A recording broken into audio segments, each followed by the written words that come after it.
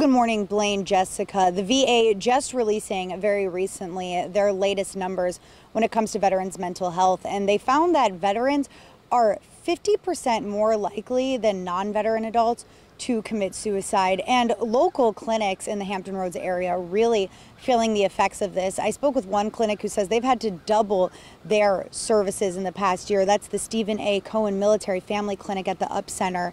They also added that the ending of the Afghanistan war is a large contributor to this.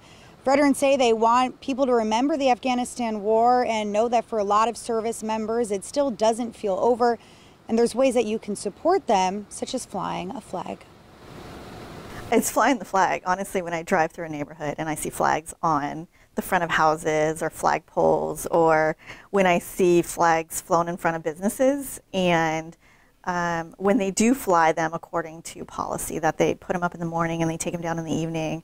I just think that's so respectful um, that I appreciate that. It feels like an honor to me as well uh, because it means so much to me.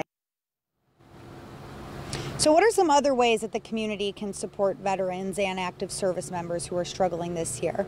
Well, according to the Cohen's Veterans Network's 2021 survey, two in five Americans feel more inclined to show support for service members following the war, which is great news, veterans say. So, they asked thousands of veterans how they can best be appreciated, and they actually said that being thanked by strangers makes them feel more divided from civilians. So, as she mentioned, flying a flag is very helpful. They also appreciate when you support a family of a veteran or an active service member, as they believe that they serve alongside them, buying them a meal, or donating to a veterans organization.